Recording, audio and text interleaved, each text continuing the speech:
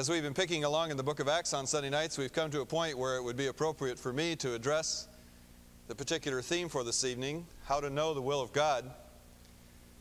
We're actually at Acts chapter 15, verse 36, but we're going to sort of roam freely in the book of Acts this evening as we look at the theme of guidance. So if you'll just keep your Bible open to somewhere around the book of Acts, we'll have continued reference to a number of different verses.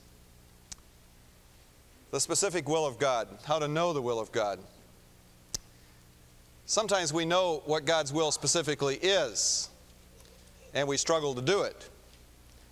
That was the case where Jesus in the Garden of Gethsemane prayed, Thy will be done. He knew what the Father's will was concerning himself, that he was to go to the cross, and yet he struggled with it. There are other occasions when we don't know specifically what God's will might involve, but we still pray in His will. Thus, Paul, in writing to the Romans from the city of Corinth, as he prepares to leave for a journey to Jerusalem, says to the Roman Christians that he trusts in the will of God that he might come to them.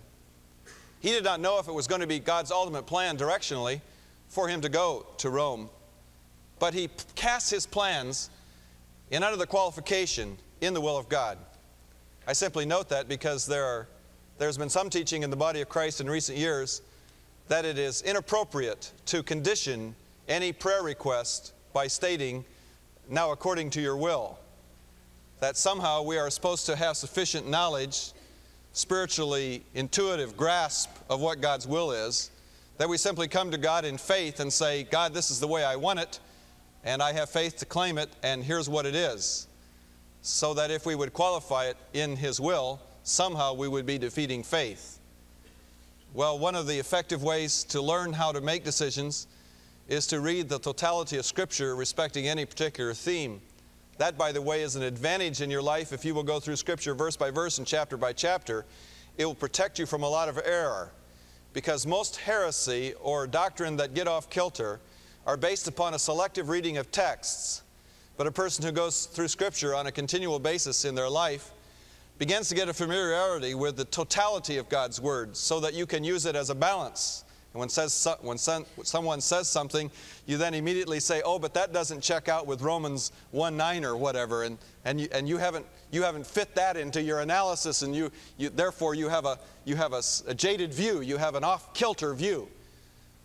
Jesus, in fact, in teaching us how to pray, tells us one of the fundamental prayers that we are to give in life is, uh, Thy will be done. Thy will be done. And that assumes that God does have a will for us. Now, I'd be the first to say and to admit that 95% of God's will for our life is already known to us. Now, that may somewhat st strike you as a surprise, but the scriptures have a rather elastic and expansive view of God's will. God is not so much nearly concerned what we're going to do and where we're going to go as with what kind of person are we going to be. He's far more concerned about being than he is about doing or going. So if you've come this evening saying, I want God's specific direction in my life, even if you get it, and you know exactly what job to take or what major to have in school or what college to attend or what person to marry, you may directionally have established God's will for your life, but if you are not within God's will in your internal character and disposition, then it matters not that you are going to the place or doing the kind of thing God wants you to do. For the major concern of God is are you becoming the person God wants you to be? And thus, knowing the will of God is no talisman. It's no magic coin flip in the air that somehow we uh, say the magic numbers or recite the magic prayer or get the right person to pray for us or give us a prophetic word and ergo, thereafter, we know God's will. The will of God, for example, if you want to find passages of Scripture to concentrate on deeply about knowing God's will, I would suggest three passages in particular that always speak to us about God's will as it relates to our personality formation the Beatitudes in Matthew chapter 5, the love chapter in 1 Corinthians 13, and the fruit of the Spirit in Galatians 5. There are fundamental qualities of personality development that the Lord seeks in our life. And if you and I are being that kind of person, we probably have a lot of options about where we can go and about what we can do because we'll be the right kind of person. And God may choose to play us like a piano with all 64 keys and send us out in any number of different directions because that's where God's concern is. I would not be so fated in the will of God to suggest to any young person here that there is only one person that is in God's perfect will for you to marry. It may be that any number of people could meet the directional test for the will of God, but none of them would meet that test if you are a person that uh, is walking a lot of anger, jealousy, rage, resentment, unforgiveness, those kinds of things. So, although I'm not going to beg the question, the specific will of God, I do want to form this very broad rule right at the beginning. Don't try to take a shortcut to the will of God directionally by omitting a concentration on what kind of person God wants you to be. And, I, and I've suggested 95% of what God wants us to, to do in regard to His will is a matter of our being. So, in a sense, the will of God is much like uh, an iceberg, uh, which is 90% underwater. Uh, 90, 90 to 95% of the will of God is known to us. Therefore, it's the, it's the small fragment that we don't know that we're going to be concerned with in this message. Well, when you're making a decision, how many in this audience this evening are in the course of making some kind of decision? Could I just see a hand? Oh, a lot of people here. How many of you anticipate within the next five years you're going to make a decision of some kind? Uh, yeah. Uh, well, okay. Uh, that gets most of us. I just wanted to get everybody involved in this message. I normally, as you know, do not get real doctrinaire and uh, say this is the only way to look at something. But I have uh, found that the particular grid of patterns that I use for determining God will, God's will are very accurate and reliable, and I think rather complete. And if you, in looking at decision making questions, will apply these five principles to your life, you will generally come up with a sense of direction. Now, that direction will not always dawn upon you in a moment's time. It may take some process of working out because some things are not discoverable except by walking through them step by step. But they are very foundational and fundamental aspects of discovering God's will for our life. And they're all out of the book of Acts, which is really a book about God's guidance. Acts, when you come right down to it, is how the Holy Spirit led the church from 120 people to, within a course of 30 years, a worldwide enterprise. That regard, that, that needed the guiding power of the Holy Spirit, and people needed to respond to the Holy Spirit, so they made good decisions that produced the kind of results that we see in the early church. What were the ways that they received guidance? Well, there are five. Uh, the first one is through supernatural revelation. Through supernatural revelation. And this is the one that in seeking God's will in my own life, I always try to look to first. Lord, give me a revelation. There are uh, several ways that God may grant a revelation by angel, by an overpowering, overwhelming personal presence of the Lord Himself, or by some powerful manifestation of His presence, which, while not visible, nevertheless is overpowering in its effect. I'll look at uh, those three for a moment. Can we receive God's guidance directionally by means of angel? Yes, with qualification. There is never anyone in the New Testament, nor I believe in the Old Testament, that ever received God's long term guidance in their life by angelic visitation. But there is short term guidance generally related to life saving emergencies or to witnessing efforts, like in the book of Acts. Uh, angels grant to Peter guidance out of jail, don't they? And they grant Philip a guidance to the Ethiopian eunuch so that he might witness to him, Acts chapter 8, as he's on his way down to Gaza and ultimately back to Ethiopia. There was a very short term guidance. So I would not suggest, based on that pattern, that you look for God's long term guidance for your life, what kind of career you're going to engage in or kind of college you're going to choose, necessarily by an angelic manifestation. However, there are those occasions when the Lord supernaturally revealed Himself to someone, and those occasions are extraordinarily rare. I would not look for them as a common kind of thing. The only such occasion in the book of Acts, for example, where the Lord Himself personally appeared after His ascension into heaven, was to Saul of Tarsus. Acts chapter 9, where He appeared in a fashion of a blinding light and said to him, Saul, Saul, why are you persecuting me? Is it not hard for you to kick against the goads? And uh, Saul hears the Lord speaking to him.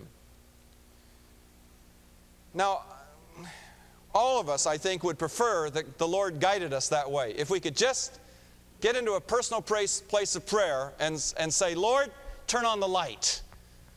i w- I'd like to hear a voice in the room. I, I have never personally heard the audible voice of God. I would love to hear that voice. And, and if it's in this lifetime, great. I know someday I will. Is there any, in anyone here who, who has heard God audibly speak to you, and you know beyond a doubt it was the audible voice of God? Several of you have. But I notice that the percentage is probably less than 3% of the audience. And that would, that would equate with Scripture. Even, however, when God speaks to a person audibly, makes an audible manifestation of himself, there are two things we should keep in mind about that. Number one, it is of such a sufficient character that you can still doubt it. We would like a kind of an overpowering revelation that would remove all possibility of doubt. If you look, however, at the supernatural revelation by the Lord to Paul, you'll find it interesting complementary section of verses, one in Acts 9 and one Acts 22. In Acts 9 it says Paul heard the voice. But in Acts 22, where later Paul recounts the story of the Damascus Road, he says that the soldiers saw the light, but they did not hear the voice. Well, what's happening here? Obviously, what is occurring is that the soldiers only heard sound. They did not hear articulated words. It was only to Paul on that road that the words had an articulated presence, and he understood them. No one else traveling in his company heard the articulated words Saul, Saul, why are you persecuting me? Therefore, when Saul got up from that overpowering experience, even though he was blinded, had he turned to someone and said, What did you hear? They would have said to him, We didn't hear anything but sound. Did you hear something? Are you hearing things? And he had sufficient room to doubt his experience. Slim, a slim uh, thread of doubt, perhaps possible, but it was there. Because God, in revealing himself to us, always leaves us room to back out. God never in the scripture so overpoweringly reveals himself that you do not have the freedom to say no. That would obviously destroy free will if he overrode your power to say no. So that's one thing we must keep in mind. Even if you get an overwhelming order from God, there's going to be something about it that can you can still say, well, did I really hear right? A second thing is those who get this kind of revelation from God are given it for a very special reason, and that is they're going to be called to go through things that um, other persons normally are not called to go through. That's the downside of a personal, overpowering spiritual revelation. And, I, and now I don't want to get any of you that raised your hand a moment ago into kind of a box of worry. But I would suggest to you that it is a biblical pattern, whether Old Testament or New Testament, that anybody that received an overpowering, overwhelming, direct call from God had consequent to that call an incredible lifetime of suffering and difficulty and trial. Isaiah, Elijah, Moses, take Paul himself. Which explains then the reason why God gave them this revelation. They needed an anchor to hold on to because they were going to be called to walk through deeper waters than most people are called to walk. And in the midst of walking through those waters, they needed some kind of deeper level of assurance. Now, since I've discovered that in Scripture, I don't pray quite as earnestly for the audible voice of God. it's, uh, it's welcome if it occurs, but uh, you know, I know if it happens what's going to be involved. Of course, the other possibility is that God will make himself known to us in a, a, less overpowering presence, but still a supernatural manifestation, such as he did to Moses, now skipping out of Acts to Exodus, with the case of the burning bush. But again, all those situations still require faith and still require a life of difficulty. But start there. If you're looking for God's will in your life, has God given you some overpowering spiritual revelation of Himself? A second thing to look for in determining will of God. Let's say you're, you've prayed and you've sought God and there is no, there is nothing concretely audible, objective that's out there. Uh, God's not speaking to you in some kind of revelatory way. That leads us then to the second means of guidance. What is going on in your heart while you're at worship? Whether you are worshiping alone or whether you are worshiping with believers, worship is a time when the Holy Spirit is extremely active in our life, providing us direction. Girls, you're going to need to sit up, okay? And listen. Uh, take, for example, the matter of personal guidance through, uh, through worship with the Apostle Peter. Acts chapter 10. What does he do? It's noon and it's the time for prayer, and he goes up to the rooftop to pray. Can you imagine the history of the Christian church had Peter missed his appointment with prayer that day? Here it's going to be the breakthrough moment. The moment when God is going to link together the old Jewish church with a Gentile convert out there, Cornelius at Caesarea, and that's going to provide the prototype, the pattern for the expansion of the church to the uttermost parts of the world. That's an utter necessary connection if the gospel is going to get from Jerusalem to Rome, which is the whole story of Acts. And it all hangs that day on whether Peter has kept his appointment with God in prayer. Remember that when he was appointed uh, to uh, get away from serving tables, one of the things he said that he needed to do was to give himself to the ministry of the word and to what? To prayer. So, having given himself to prayer, he's keeping those appointments. And while in that place of prayer, what happens? A revelatory experience in the form of a vision, not something overpowering like Paul, but something you could wake up and say, Did I eat too much spaghetti for lunch? Uh, what's going on here? Why am, I, why am I having this vision? But he understands in that vision that God has appointed him to follow whoever comes to knock on his door. And God uses that. If he had not kept his personal time of worship, he would have missed that. I, was, I would probably guess that a lot of us stagger in knowing God's will and don't get connections because in a regular way we do not interface with God.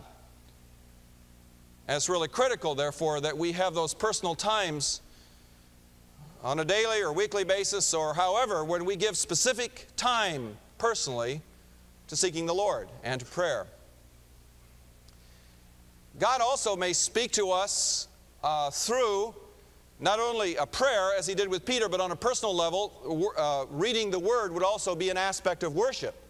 Sometimes we may get guidance through reading the Word, although, as a general rule, that guidance from the Word will be general in character. It, um, Usually you cannot pick up the Bible and put your thumb on a verse and that tells you your life direction. I've had miserable experience with that, by the way. I've, I have tried doing that. Let's see if I have any luck tonight. Do you give the horse his strength or clothe his neck with a flowing mane? Do you make him leap like a locust, striking terror with his proud snorting? I, oh, it always happens to me. So I sit there saying, oh, wow, what in my life is a horse with a neck with a flowing mane and leaps like a locust? You know, oh, well, oh, let's see, try again.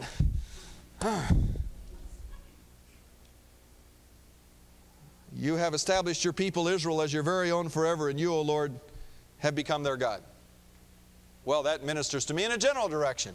God has established me as his person, but he still hasn't told me what I'm to major at in college. One more time, Lord. What does a poor man gain by knowing how to conduct himself before others? Not too bad. you know who actually originated that process of God's guidance was a group of people called the Moravian Pietists in Europe about the 17th century that produced the Pietistic uh, movement and the modern missionary movement.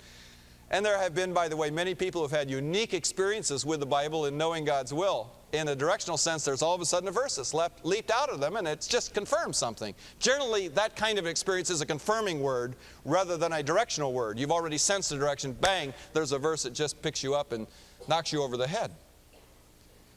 Uh, about three years ago, when we were trying to raise money to build a parking lot, and how many of you know that's about the toughest money a church can raise? And I was trying to link that together with a scripture. And I thought there, there are no scriptures in the Bible that speak of a mandate uh, to give funds for a parking lot. But I found a scripture in Isaiah where Hezekiah was given an order by God to build stalls. and uh, it was a real confirming uh, direction. So generally, when we open the Bible, it is confirming general directions, not specific directions, though sometimes, again, there can be an exception. In worship, sometimes we get a real impression of what God wants us to do when we are gathered together in the community that is worshiping. And within the context of community, whether it is an entire worship service such as this, or whether it is a small group praying and sharing together, God's will becomes crystallized for us. I cited an example, Acts chapter 13, verses 1 and 2. While the prophets and teachers at Antioch, there were five of them named, while they were worshiping the Lord and fasting, the Lord said, Set apart Barnabas and Saul for the work to which I have called them. They went into that time of seeking the Lord without a clear sense of direction, not even anticipating a missionary journey, but as a result of their being gathered together and concentrating on the Lord, the Lord pressed their hearts on the matter of their ministry to the world. How is it when you look at missionaries, for example, uh, that most of them get their call? They get it within the context of a worship experience in a body, a youth camp, a Sunday night service, a worship context of some kind, where the Holy Spirit impresses them with some broad field of the world, lays it on their heart. It becomes a, a deep impression upon them. And one of the things we need to watch, out, uh, watch for in worship is that whenever we are worshiping God truly, and as our hearts get more and more focused upon God, suddenly we come to an electric moment in worship where God focuses our hearts on what is His heart, and that is the world. And our worship suddenly gets translated out to evangelism and mission and purpose and discipleship. And that's what happens in the Antiochian church among the prophets and teachers. While they're worshiping the Lord and fasting, the Holy Spirit says.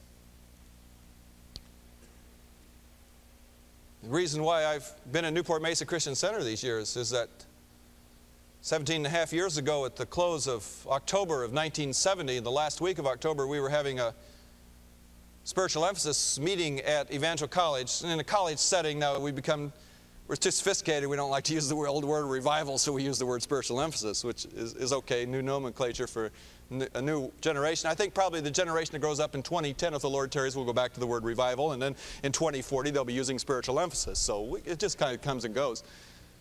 We were having a sophisticated college, a spiritual emphasis week, you understand. And it was a great revival. It was one of the, one of the greatest revivals I've ever been at in my life. You know it's a revival on a Christian college campus when the chapel is packed in the evening meetings. That's the, that is the test of a revival as well as, of course, young people hungering and seeking after God, which was happening. I'd been campus pastor less than a year. I just finished my doctoral work at uh, Fuller Seminary and planned to stay at Evangel College the rest of my life. That was where I was going to be. And uh, on the second night of that meeting, I uh, looked across the expanse of that chapel, which was filled with thousand students, just a sea of faces. Evangel had a thousand students at the time. And I looked off in the distance, and there was the students painting Charlie Bitros' painting of the crucifixion. And it was dimly lit by the glow of soft spotlights. And as I stared across that sea of faces, I was sitting in the front row, and it was a long oblong chapel. I just, as I looked at that, suddenly everything else in the room kind of faded into the background, and I heard an inner voice, not an audible voice, an inner voice saying, George, look around here because this isn't going to be your place of ministry much longer. And I just, huh? Uh, our children were very young. We just bought a house. I just, I'd done my doctoral work on the wonderful subject of the role of the campus pastor at the evangelical college. I had followed the proper advice, by the way, in doing a doctorate. Pick a subject that none of your advisors know anything about and become the expert on it. And you have a lot less rigorous time in your orals. So I had done that. Nice examination of the survey of the Christian college, its history, purpose, tensions, mission, and all those kinds of things. Then campus ministry role. And I mean, I was set to do that the rest of my life. And then there comes this voice out of the blue, inwardly. Look around here. It was in a time of worship. I just wanted to, uh, it was sort of like a seed landing in your life, and you, once, it's, uh, once it's begun to germinate, you can't pick it out. It's, it's there. And I, I, I couldn't get this out, although I didn't say anything to anyone about it. It was just there. Didn't say anything to Jewel. Uh, later, months later, when we finally came here, I was to discover that that same week, uh, the church, which was then Glad Tidings Assembly of God in Newport Beach, had called the last week of October of 1970 as a week of prayer and fasting for the entire congregation that God would lead them as they began their search. Little did we realize that simultaneously we were having spiritual experiences that God was going to connect together. Worship is indeed uh, an important means of gaining God's will in our life. The scripture I cited from Acts 13:2 appears to have been guidance by means of a prophetic word. The Holy Spirit said, set apart Barnabas and Saul for the work to which I've called them. In other words, they already had the call, they just didn't know the timing. Now, when you say the Holy Spirit said, generally the scriptural rule is that the Holy Spirit does not speak like through the PA system. You won't find in, in, in any church that I have ever heard of that in the course of worship service, suddenly the, uh, uh, the public address system will interrupt all the service and, and you'll have a pause. We interrupt this service for a divine announcement. The Holy Spirit says, you know, how does the Holy Spirit talk? He talks through His people, exercising a spiritual gift. So, what happened in that mature eldership of the Antiochian church was one of the elders said, This is what the Holy Spirit is now saying. And it was confirmed. Now, I mention that because the matter of receiving guidance through worship by means of a prophecy that someone else gives you is a very tricky and problematic area. And a lot of people have gotten into a lot of trouble on it. The Lord has revealed to me that you're to marry Susie. But God, I wanted to marry Jane. You know, no, it's Susie. The Lord has revealed to me that you're going to be a missionary in Zimbabwe. But Lord, I wanted to be a cashier in Fontana. you know, how do, how do we deal with the Lord has told me that? It's an interesting little thing that goes on in regard to personal prophecy in the book of Acts. It starts at Acts chapter 9, I think it's around verse 20 or so, but in that area, Paul is wrapping up his experience at Ephesus, end of third missionary journey. And he says that he is determined in the Spirit to go to Rome. That's, that's been a resolution in the Spirit. Then, when he meets with the uh, Ephesian elders at Miletus, Acts chapter 20, they warn him in the Spirit that if he goes to Jerusalem, did I say, I'm sorry, back to Acts 19, he, he says in the Spirit he's going to go to Jerusalem, not to Rome. Spirit has told me to go, but he, he, he advises me that there is much suffering ahead of me and bondage and imprisonment. When he gets uh, to uh, meet with the elders at Miletus, Acts chapter 20, they meet with him, and through the Spirit, they tell him the same thing. Paul, if you go to Jerusalem, there's much imprisonment going to await for you when he comes to, uh, on his journey to what is Tyre, which is now in the news, you know, it's in Lebanon, it was biblical Phoenicia. They're the prophets, Acts, I believe, 21, verse 4. They're the prophets at the, in the church at Tyre, T Y R E, meet him and they say, through the Spirit, do not go to Jerusalem. Notice that very carefully. They say, through the Spirit, do not go to Jerusalem. Then moving a little bit further on, there is the prophet Agabus, who in Acts 12 had been right about the famine. Now he comes to Paul, and he binds him with his own girdle, the, the sash he wore around his Middle Eastern robe. He wraps this around Paul and ties him up, symbolic prophetic act, which is common among the prophets. And he says, Thus will be the man that goes to Jerusalem. He's going to be in fetters for having gone. The addition of all those factors has led some people to conclude that Paul got out of will Paul got out of God's will when he went to Jerusalem. He should have never been going there. And as a result of getting out of God's will he suffered his imprisonment. If he'd have listened to God and listened to the prophetic voice he'd have never made that mistake. But such does not read carefully the scripture. Paul's word from the Lord is go but you're going to be bound. The church leaders at Ephesus who met him at Miletus said go but you're going to be bound. Agabus said, You're going to be bound. Only at Tyre and only the prophets there said through the Spirit, Don't go. And I think what happened at Tyre is what I've seen happen in some charismatic circles. Someone keeps talking in the Spirit after the Spirit has quit talking. What the Spirit consistently had said in all the other appearances was, You're going to be bound. The Tyre prophets, however, having been given that revelation of the Spirit, try to add up two and two and force it as though the Spirit is now saying, therefore don't go.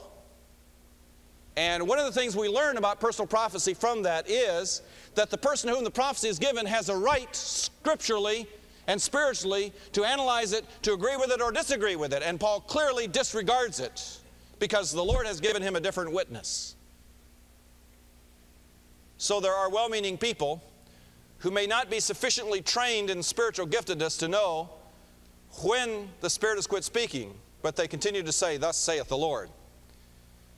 God will never turn the governance of your life over to somebody else. You are in the cockpit with the Holy Spirit, and it's up to you to have the final veto authority, no one else. Not even your parents, ultimately. You're responsible before God for the decisions you make in life. What a prophetic word can do is generally, and I would say always, it is not a directional word, it is either a preparatory word or a confirming word. A preparatory word, that is, get ready, God's about to do this, or a confirming word, like as Acts 13, the, already the Lord had called Paul and Barnabas to the work which you have been called. Already they have been called, but now comes the confirming word. Now's the time to go. But it was not fresh revelation.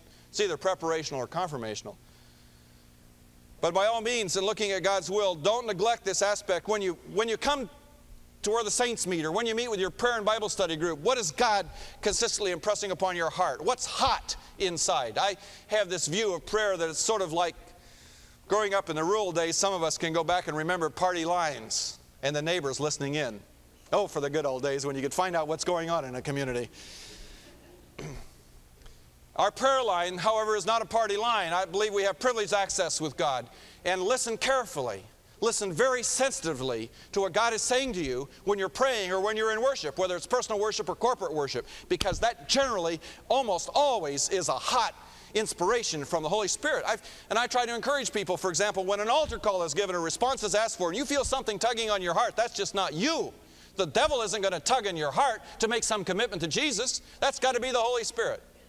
So go with it, respond to it. Look at what's happening in worship. A third way of getting guidance is circumstance. Circumstance, your total life situation. Where are you as a person, geographically, positionally, age wise? Look at some examples of this matter of circumstance and how God used circumstance to guide people into His will. Acts chapter 6 is a circumstance. The circumstance was that there were widows in the early church that were having a problem with one another, having a good, honest contention with one another. Had it not been for that circumstance, there would have been no need for deacons. Had there been no need for deacons, there would have never been a Stephen. Had there never been a Stephen, there would have never been a martyrdom. And perhaps there would have never been a Paul. We went through this a few weeks ago. But it was a circumstance of a church contention that eventuated in Stephen stepping into the arena of God's will for his life directionally. Don't minimize these circumstances. The school you go to, for example, chances are, if you're going to a Christian college, you got about three chances out of four you're going to meet your lifetime spouse there. You know, that's uh, what we call circumstantial guidance. Generally, we don't claim direct revelation for those things. Uh, the fact that I wear glasses has been a means of God's circumstantial guidance in my life. Powerfully. I don't know. I, I can't bring myself to to buy contacts. For, for one thing, I don't think I could get used to the new image I'm projecting. I'd probably be uncomfortable. And secondly, my, uh, my family tells me I, I need these to look more dignified. So I, I still keep them. But I can remember my pioneer minister parents who told me after I'd broke about three pairs of glasses in a short period of time when I was around, uh, I guess, nine or ten years of age, George, we do not have money to keep getting you glasses. In those days, glasses cost the astronomical sum of eleven and a half dollars. And uh, we want you, Dad said to me, George, you've got to quit playing uh, basketball and contact football and those kinds of things, or get yourself removed so you're not in the center of the action, because that's where you're breaking your glasses, going for the ball or whatever. So I had to develop perimeter shooting and all those kinds of things. Stay away from bodily contact. And uh, ultimately, I think these glasses uh, got me, in effect, out of sports. Not that I was ever very physically coordinated, but I always had a deep interest in sports, but got me into books. Is because, I don't know, somehow, the, somehow for me, glasses went with being a bookworm. And so as a kid, I ate books. I mean, I had to read a book a day or it really wasn't a fulfilling day. And, it was just, that's just the way God used my life. It developed in me a love for learning. And I don't think that would have ever happened without these things. So this was God's circumstantial way, even of guiding me to the kind of lifetime so far that I've had an interest in ideas, literature, and the like. God can use little circumstantial things in our life. Obviously, our parents and our heritage have a great role to play in what we become and what we do. That's part of, again, of our circumstantial guidance in life. So we look around at the circumstances in our life. Where, where do we find ourselves in respect to those circumstances? And uh, we'll often find, probably, that our circumstances don't so much directly guide us as they put us in places where we make the direct decisions. They, they put us in a convenient matrix where decision making is possible. Uh, one of the neatest places, by the way, of circumstances that I find in all Scripture is this uh, how God guided this person, Luke. And we'll find this later at the uh, close of the, uh, well, actually, it's at the beginning of the second missionary journey. Uh, Luke joins Paul in the city of uh, Troas and then crosses the Aegean Sea to Philippi, and then he drops out of sight. And he's out of sight while Paul finishes the second missionary journey and does the whole third missionary journey. So for about five years, he's not with Paul. But by the time Paul finishes the third missionary journey, he's at Corinth, and he has gathered a deputation of everybody from the churches which he has founded to take an offering to the Jerusalem saints. And at the last minute, Paul discovers that there's an assassination plot on his life, that they're going to get him when he gets on the boat in Corinth. So he sends everybody else on ahead and he goes up by himself back up to northern Greece to Philippi, where he, of all things, at Philippi, re meets Luke. And suddenly, Luke is with him. Not identified as Luke, but as we. He says we. That means he's back in the picture. And Luke then goes with Paul to Jerusalem. And Paul is arrested in Jerusalem, and Luke, for two years, is traipsing the countryside and what's he doing during that period of time? He's doing what he says in Luke 1 through 4. He's interviewing the eyewitnesses of the life of Jesus and record, he's a non-Palestinian Greek. So how would he know about the earthly ministry of Jesus? How would he know enough to write the history of, the, of Jesus in the third gospel in the book of Acts? He would have never had that opportunity to do the research needed to write the gospel in Acts had it not been for the fact that he got there. How did he get there? Because there was an assassination plot on Paul's life at Corinth, which motivated Paul to go up to Philippi and get Luke to go with him. And had Paul not had that assassination plot, Luke would have stayed forever at Philippi and we'd have never heard from him again. But God used that circumstance to get him into a position where, in actuality, Luke writes more the New Testament than any other writer, more, more so even than Paul. Although Paul writes more letters and books, Luke writes more words. It's a powerful way God guided through circumstance. Don't underrate circumstances in your life. The Fourth way we get guidance is through the confirmation of other believers. Through the confirmation of other believers. You see, we're not lone rangers in the body of Christ. As we're with the body of Christ, an active member of Christian community, other people begin to read our gifts and begin to encourage us in the development along those lines and affirm us.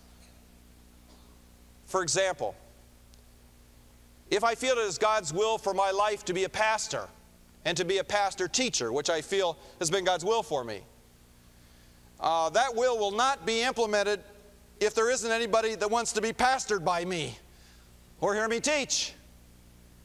You know, I can only do that if the body of Christ, in some way, at least two or three people, give assent to that.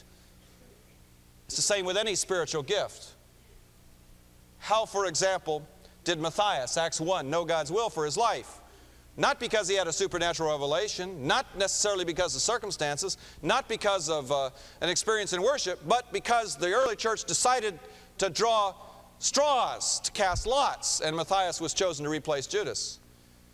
How did, uh, how did Judas and Silas, Acts 15, become uh, ministers to the Gentile community? It's because the Jerusalem church appointed them to that role.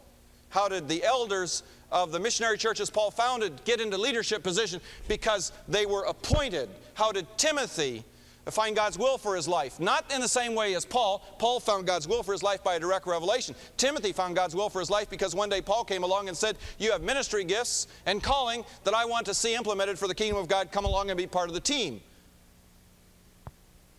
Uh, so we may find uh, God's will in that, in that fashion, confirmation of the body we had a young minister some time ago before the presbytery. And he had uh, wanted to pursue a particular line of decision that uh, some people weren't exactly satisfied with and did not really feel it was God's will. And he based his decision on the fact that God sovereignly and individually and personally led me. And how can you argue if God's speaking to me? How can you argue with me? That's a tough nut in guidance, by the way. What is the role of direct guidance from God versus the authority of the church. Jimmy Swaggart's having this problem, isn't he? And we wrestle with it. It's, it's got to be held in, in kind of a balance. And I recall saying to this young man, I think this question be, ought to be looked at not just from the standpoint that you feel God is guiding you to do this against the advice of all the presbytery and your neighboring pastors. You, you ought to look at a consistent interpretation of the question, and that is this. If you have someone in the church you pastor, let's say the Sunday school teacher, that you feel doesn't have the gifts of being a Sunday school teacher and you want them to do something else and you go to them and say, it's time for you to do something else because I, I don't sense that this is, this is working. And they say to you, you can't remove me because I've talked to God and God says I'm to do this. Said, I think you're going to be, at that point, you're going to override what they say because it's obvious by the fruitfulness of their ministry that a change has to be made. So I said, somehow we've got to keep in balance this matter of individual revelation versus the consensus of the community of which we are part. If we've pledged ourselves to be within community, then we need to listen to community and what God is saying to us through our brothers and sisters. Listen very carefully to what people are saying to you about the areas in your life where you seem to have a real giftedness and propensity to succeed. We receive direction by listening to the body. So those are four steps. Say, I've tried all four and still haven't got guidance.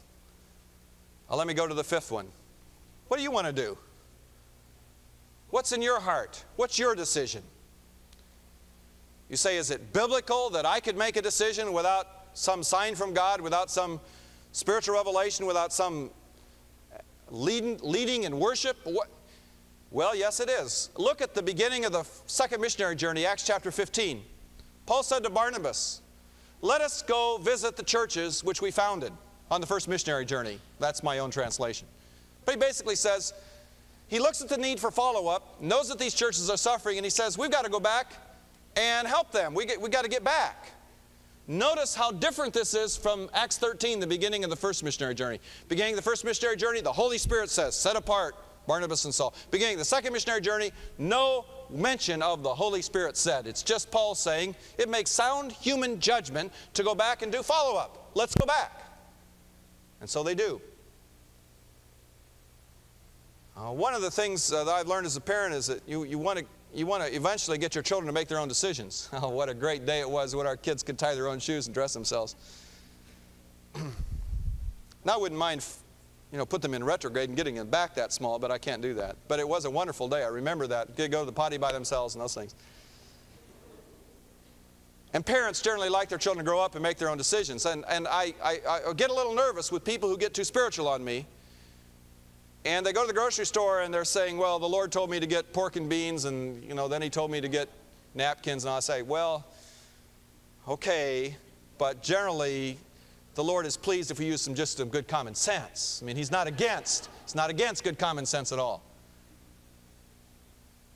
And part of the dominion mandate uh, to have rule and authority, part of that is to make decisions. The Lord says, I will give you the desires of your heart.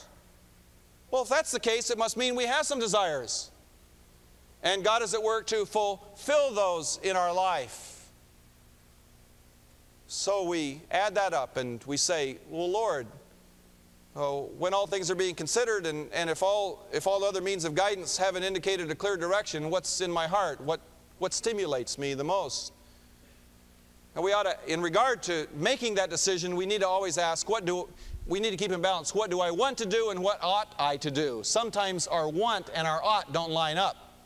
Several years ago, I wanted to make a particular decision, but it was the decision which the Holy Spirit let me very clearly know I was not to make because I ought not to do it. So even though I wanted to, I couldn't because I ought not.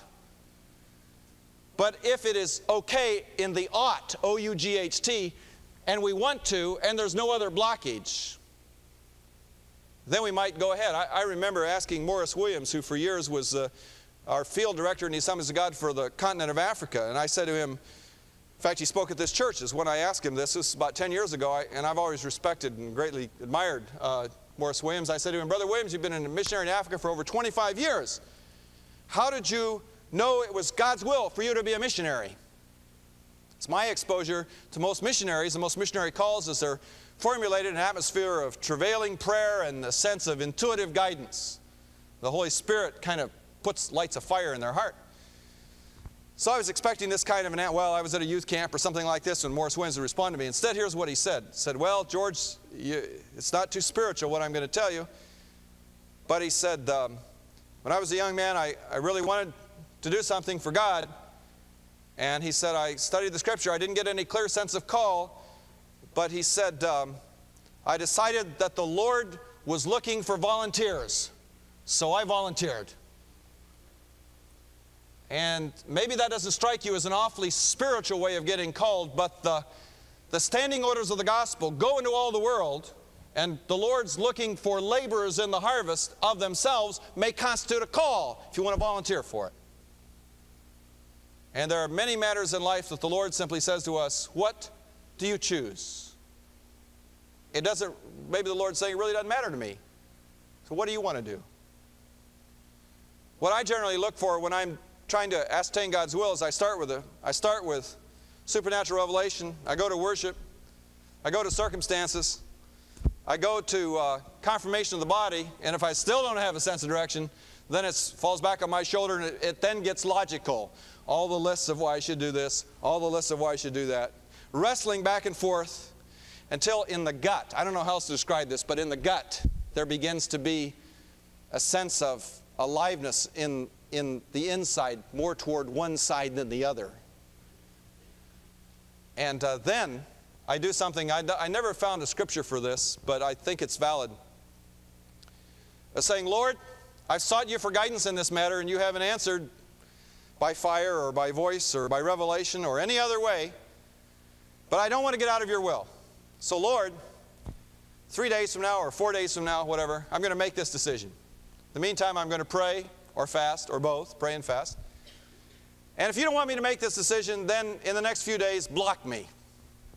Throw something in my path. Clearly, block me. And if you don't block me, then I'm going to go ahead and do this. At 6 o'clock Wednesday night, I'm going to implement this decision. You have until, until 6 o'clock Wednesday night, Lord, to block this. And I mean this, Lord, in all sincerity. I actually did that, by the way. That was the final test in coming here. I, I said to the Lord, Lord, I'm going to fast for four days, and you have until Wednesday night, 6 o'clock. And if you don't block me in the course of time, then don't ever throw it up to me that I got out of your will. you know, I gave you a chance. And I think God is fair. And He would do that. Now, one tricky thing, and I need to close with this put you on warning so you'll know what's happening. Quite often, after you make a decision, there will come a period of doubt and second guessing. And you'll wonder, what in the world happened? Did I get out of my own? Did I, did I not hear God? What happened? I can share an incident again with you from Scripture, and it is from the second missionary journey. Paul said, Let's go back and visit the churches we founded on the first missionary journey. And so they do that. They, they travel over a land route you couldn't even go today if you were a non Syrian. They start out in Syria, go north, and then come around into what is present day Turkey, into the Taurus range, mountain range, into the area, biblical area of Antioch and, and uh, or Pisidian Antioch and Galatia and Phrygia and those kinds of wonderful provincial Roman names. And then when they're done revisiting those churches, Paul senses in his spirit that he wants to go west. So he strikes out. He is in what is lower central Turkey, and for the next how many days, we don't know, but it's about 400 land miles, he walks. He starts out, and he's got John Mark with him, he's got Silas with him. No, John Mark dropped out. He's got, he's got Silas, and, um, and uh, he picked up Timothy. So you've got two full-time workers. They have left Antioch of Pisidia, which is the jumping off place, and they're heading in a northwesterly direction. And the Holy Spirit says to him, Don't go to Asia. Well, Asia meant Ephesus, the headquarters of the Roman province of Asia. So Paul turns sharp north to go up to the underbelly of Russia, northern Turkey, to Bithynia. And again, the Holy Spirit says, No, don't go to Bithynia. Isn't it nice that God tells us no and doesn't tell us where? You know, this is one of the funny things about knowing God's will. Often we sense that we're not to do this, but we have the foggiest idea what we're supposed to do. And the key thing in those times is don't, don't, don't stand still. Don't get passive. Do not get passive in knowing the will of God. I know people that unfortunately get passive, lock themselves in a room somewhere and stay for days and days and come out more confused than when they went in. Paul just kept putting one foot after another, and he says, I know I'm not supposed to go to Ephesus, and I know I'm not supposed to go to Bithynia, so evidently I can go in between. And that's what he does. He goes in between. If you look at it on a map, he goes, he heads right equidistant from Ephesus on this side and Bithynia on this side. I would love to have been a party to some of those conversations. Timothy, especially, young man on his first missionary journey, won to the Lord probably by the Apostle Paul when Paul had been pelted with rocks in Timothy's hometown, the town of Lystra, which may have had much, as much an influence on Timothy's coming to faith, faith as all the miracles Paul did. saw how Paul suffered, but that's a separate point. Um, about 100, you know, after walking, how long does it take to walk 100 miles? 30 miles a day, 25 miles a day? Well, they're hiking mountains and rivers, maybe 20 miles a day. Five days, let's say, they walked. Timothy finally gets up courage, says, Brother Paul, it's so great to be on a missionary journey with you. I just have one question. Where are we going? Paul gives a very spiritual answer. I don't have the foggiest idea. it's great. I love to see apostles that don't know what they're doing. You know, it gives all the rest of us hope. He doesn't know what he's doing. He walks for 400 miles which gives rise to my favorite poem, you know, plod on, plod on, plod on, plod on, plod on, plod on. Those are the only words. It can go in an infinite amount of verses. he keeps walking. Someone has said that will of God is like riding a bicycle. You cannot guide a bicycle if you're standing still. You got to get on it and get it moving. So I, I buy this theory of, of, God's will. If you just keep knocking on doors, bang, bang, you just, you know, I don't go passive. I don't, I don't see any precedent in Scripture for getting passive about God's will. Just Keep pressing, keep active, keep searching.